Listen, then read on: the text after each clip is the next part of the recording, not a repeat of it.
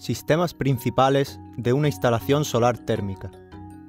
Una instalación solar térmica para agua caliente sanitaria de tipo forzado estaría formada por los siguientes sistemas principales. Sistema de captación. Sistema de almacenamiento. Conexiones, accesorios y circuitos hidráulicos. Sistema de regulación y control. Y sistema de apoyo auxiliar.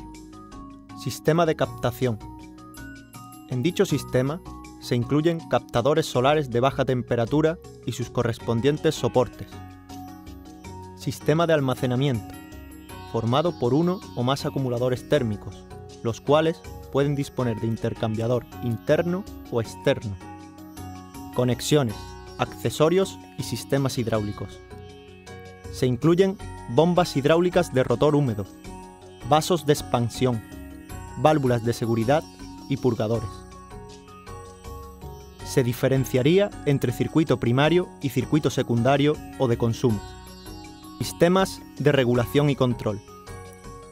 Formado por la centralita electrónica y sus correspondientes sondas de temperatura, las cuales controlan cuándo debe accionarse la bomba de circulación del circuito primario.